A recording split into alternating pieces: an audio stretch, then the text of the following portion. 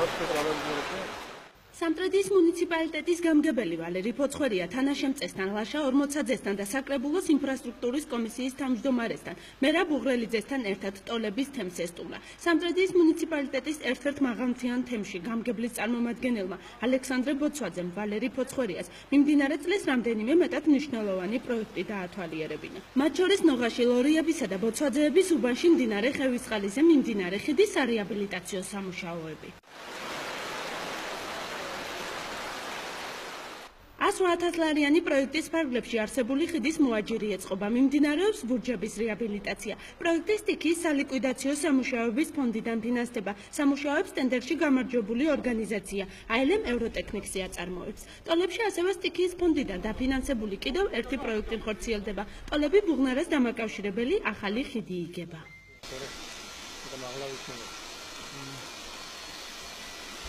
ისეთი ნახსანაბი რომ შეაშველებელია. არა, ხო ხედავთ ახლა ეს გუშინ დავიწყეს ეს შევსები. რა, გავაგზავნებ, იქეთაც გავაგზავნებ აქეთაც და მოჩება. მე ტექნიკას მოვაცელებინებ და აი გული რაც არის, აი რა გული რაც არის, რა გადავიტანთ იქ. ათო გაბიონი უკეთდება მაგალითად გაბიონი უნდა. ხიდის აგებას ტენდერში გამარჯვებული ჩოხატაური სამშენებლო ორგანიზაცია სახარია. უზრუნველყოფს სამუშაოების ჩასატარებლად. დაახლოებით 800000 ლარია გამოყოფილი. გადამავალი პროექტით გათვალისწინებული სამუშაოები. 2016 წლის გაზაფხულზე დასრულდება. რის შედეგადაც სტოლებში მცხოვრებ ათეულობით ოჯახს პრობლემა მოიხსნება.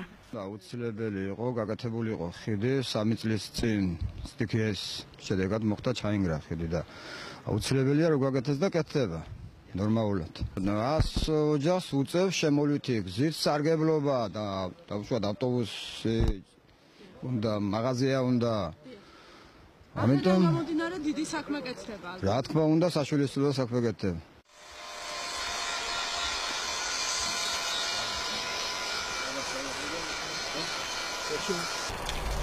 მოდი და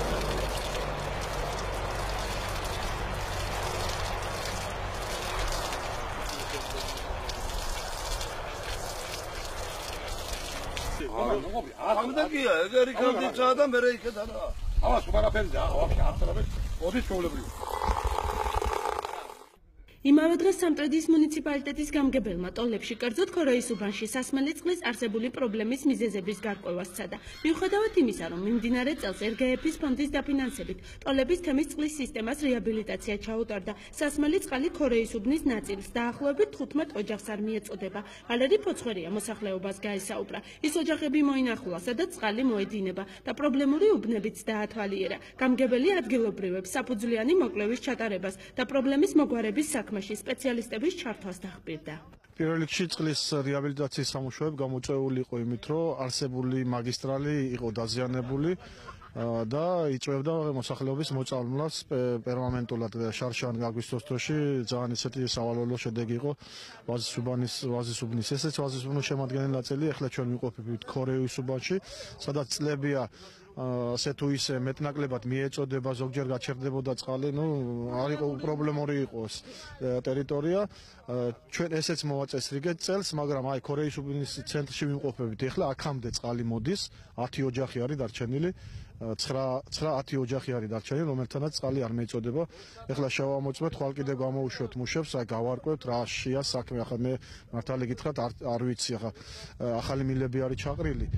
წყალი აქამდე მოდის, გასარკვევია დებეტი არ ყოფნის თუ შეიძლება მილებში რაიმე არის გაჩხერილი და მან გამოიწვია ამ 10 მოსახლის უწყლობა დღეისათვის. რეალურად შედეგი უნდა დაიდოს, იმიტომ რომ თანხა შედეგი უნდა დაიდოს, იმიტომ თანხაც გავიღეთ გარკვეული სამუშაოები ჩავატ ჩავატარეთ და შედეგი აუცილებლად უნდა იყოს და თუ შედეგი არ იქნა, უნდა გაირკვეს შემდეგ ეს შემს ვინც ასრულებდა სამუშაოს მათი ბრალით არის თუ უბრალოდ შეიძლება ნუ ხა დებეტი შეიძლება არ ყოფნიდეს მართლაც თაში და დასამატებელი იყოს. ესეც გასარკვევია, გაირკვევა ყველაფერი და აუცილებლად მოგვარდება რა თქმა უნდა. თქვენ ორი ხედი მოინახულეთ დღეს ძალიან მასშტაბური და თითქმის უპრეცედენტო სამუშაო ტარდება, ძალიან კაპიტალური და კარგი ხედი ეწყობა ბუღნარას. ამ თემასთან დაკავშირებით ეს როგორც ვიცით, გადამავალი პროექტია, როდესაც დღეს უნდა დასრულდეს. ეს სტიქის შედეგად დაზიანებული ორი ხიდი იყო, ერთი ტოლები ბუღნარას ასე თქვა გახმაურებული ხიდის პრობლემა.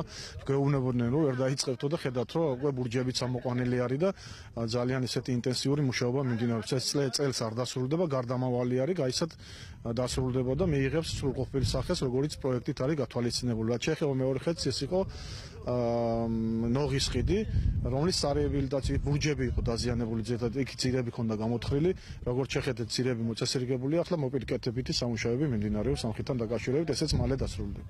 და ჯამში ტოლებში საკმაოდ დიდი თანხა დაიხარჯა წელს. ბევრი პროექტი შესრულდა უკვე წლის ბოლოა ვაჯამებთ პროექტებს. რამდენად კმაყოფილი ხართ იმ სამუშაოებით, რომელიც ჩატარდა?